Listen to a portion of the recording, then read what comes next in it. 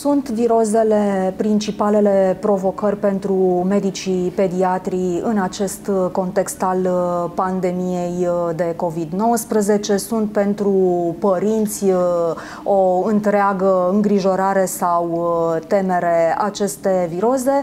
Vom afla de la doamna doctor Laura Ion, medic primar pediatrie la Spitalul Ponderas. Doamna doctor, cumva sezoanele nu mai țin cont de temperaturile de afară, s-au uh, schimbat. Putem spune că s-a schimbat și patologia, avem o altfel de patologie decât aveam uh, până acum, avem viroze în plină vară, deși le așteptăm în sezonul rece? Din ceea ce vedem noi acum la camera de gardă, uh, copiii vin cu o patologie destul de polimorfă. Um, într-adevăr, nu mai există nicio repartizare sezonieră a anumitor patologii. Avem uh, și uh, bronșiolite, și pneumonii, și chiar gripe, pe care le vedem de obicei iarna, alături de diarei, pe care le vedem de obicei vara. Dar, spre deosebire de perioada în care copiii au stat izolați, în acest moment sunt destul de mulți pacienți la camera de gardă. Față de perioada anterioară pandemiei, cum vedeți numărul cazurilor? A crescut, a scăzut, mă refer la viroze? A devenit cam la fel ca înainte de pandemie sau se apropie de numărul de atunci. Există îngrijorări uh, pentru medici, având în vedere contextul acesta pandemic? Au apărut alte aspecte la care trebuie să fie atenți medicii pediatri atunci când uh, suspectează virozele la copii? Din cauza polimorfismului clinic al uh, infecției cu SARS-CoV-2 la copil, Um, sigur că diagnosticul diferențial al infecției COVID cu alte uh, viroze respiratorii e mai greu de efectuat și atunci sigur că în orice situație trebuie să ne gândim că ar putea să fie și COVID, dar să nu uităm că nu este totuși singura boală și că și alte boli se pot manifesta cu febră sau cu simptomatologie asemănătoare. Care sunt virozele care predomină în această perioadă? După cum v-am spus mai devreme, infecțiile cu virus sincitial respirator, bronșiolitele, pneumoniile cu componentă bronhoobstructivă, deci tot virale, uh, cu adenovirus, tot cu virus sincitial respirator. Um, cam astea ar fi și am avut și niște cazuri de gripă. Credeți că faptul că oamenii au renunțat la mască Um, este posibil ca aceste cazuri să fi reapărut uh, acum în plină vară? Da, bineînțeles. Uh, s-a renunțat la mască și nu numai acest lucru. Uh, copiii au început să fie din nou socializați, să mai meargă pe la grădinițe, au mai fost puțin pe la școală, acum merg în tabere. Mm, activitățile dinainte de perioada de izolare au fost și dinainte de pandemie au fost reluate într-o câtva și atunci, firesc, și contactul între ei a făcut posibilă reapariția virozelor. Ne așteptăm la o creștere în continuare a virozelor? Depinde de ce se va întâmpla în continuare cu valul 4 al infecției COVID. Dacă într-adevăr va lovi și în România, cum se întâmplă prin lume la ora actuală, probabil că din nou vor fi măsuri restrictive, măsuri de evitare a colectivității, școală online, purtare de mască și atunci sigur că și virozele vor fi limitate ca număr. Aș vrea să vă întreb legat de diagnosticul diferențial. În ce măsură se face testul uh, COVID pentru excluderea posibilității infecției cu SARS-CoV-2 atunci când avem uh, o viroză în față și știți că există și acele dublu teste care se fac. Cât de mult se practică? De obicei, atunci când avem un copil care are simptomatologie sugestivă pentru infecția COVID, luăm uh, PCR de SARS-CoV-2 Uh, de asemenea, când uh, are un context epidemiologic sau uh, când vine dintr-o altă țară, da, facem acest test. Um, în ceea ce privește mm, antigenele rapide, luăm câteodată și antigene rapide.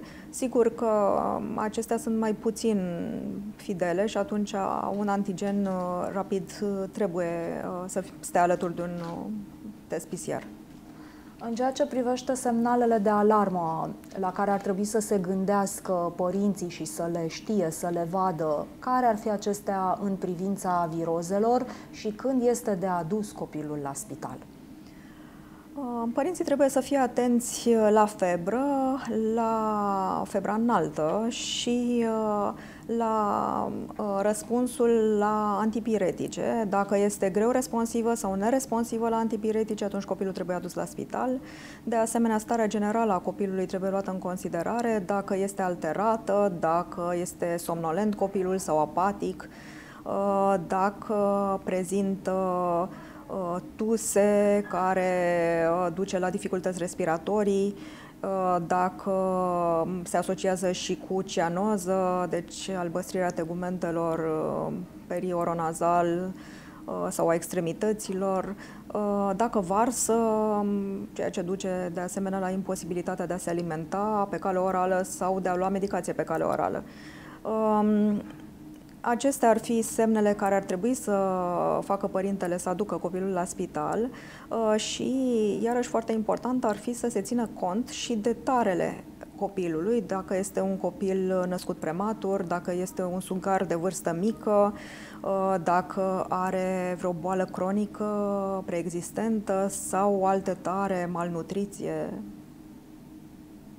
în ceea ce privește bateria de investigații care ar trebui făcută, și aici aș vrea cumva să le oferiți poate câteva detalii și medicilor de familie, pentru că adesea se întâmplă ca părinții să apeleze și la medicul de familie, nu neapărat la medicul pediatru pentru uh, o viroză.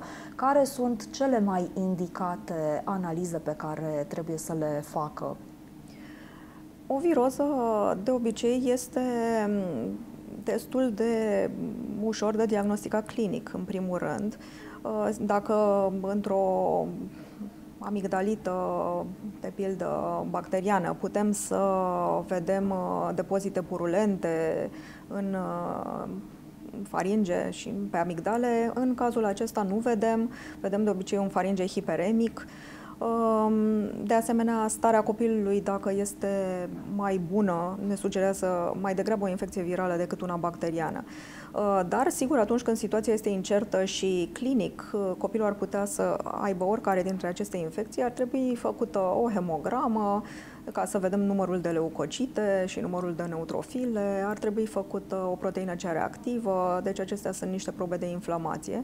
Uh, și în funcție de, sigur, locul unde este situată, ar trebui făcut uh, un test uh, la dacă e vorba de o faringită, de exemplu, un exudat faringian sau un test rapid de streptococ, un antigen rapid de streptococ. Dacă e vorba de o infecție digestivă, ar trebui făcute antigene virale din scaun. În ceea ce privește virozele respiratorii versus virozele digestive, uh, ce ar trebui să știe uh, părinții pentru a le preveni? La vârste mici e destul de greu să le previi. Uh, sigur că um, virozele respiratorii se contactează pe calea aeriană, Uh, iar cele digestive, mai ales pe cale fecal-orală. Deci o igienă a mâinilor este foarte importantă, um, de asemenea o igienă alimentației cu spălarea corectă a alimentelor, cu prepararea lor termică corectă, um, de asemenea, copilul ar fi bine să nu fie lăsat să pună mâinile peste tot și apoi să le ducă la gură, dar și din experiență personală știu că e destul de greu să faci acest lucru cu un copil mic. Totuși, pandemia de COVID-19 a avut ceva bun, ne-a educat o, cumva mult mai bine. Categoric. În primul rând, ne-a făcut să fim conștienți de faptul că există posibilitatea să trecem printr-o pandemie, lucru pe care nimeni nu l-ar fi crezut până atunci. Uh, și toate măsurile de igienă care au fost luate au fost bine însușite de oameni, mai ales de părinții cu copii și sigur că vor rămâne și după ce trece pandemia. În ceea ce privește gestionarea virozelor acasă, pentru că știm că în perioada uh, restricțiilor, uh, majoritatea părinților s-au ferit să își aducă copiii la spital de, de teama de a nu se infecta cu virusul uh, SARS-CoV-2 și mulți au stat și și-au tratat copiii acasă. Um, am trecut peste acest hop, dar uh, nu se știe ce ne aduce uh, valul următor. De aceea revin care ar fi cele mai importante sfaturi în ceea ce privește gestionarea unei viroze acasă. Sigur că orice părinte trebuie să aibă la domiciliu un antitermic um, fie ibuprofen, care este și antiinflamator, fie paracetamol, pe care să-l ofere copilului în cazul în care febra este ridicată. De asemenea, ar trebui să aibă niște picături de nas, chiar dacă este un ser fiziologic, ar trebui să aibă un uh, sirop uh, de tuse din plante, de exemplu, adică ceva destul de ușurel cu care să înceapă și, eventual, uh, un uh, spray de tip, uh, nu știu, fie din plante, fie ca medicament de sinteză, ca să poată fi dat copilul în gât, dacă îl doare gâtul. Dar, sigur, indiferent de boala în sine, copilul trebuie văzut de medic ca să stabilească clar dacă e vorba de o banală viroză sau de ceva mai grav. În opinia dumneavoastră, telemedicina a funcționat și funcționează în pediatrie?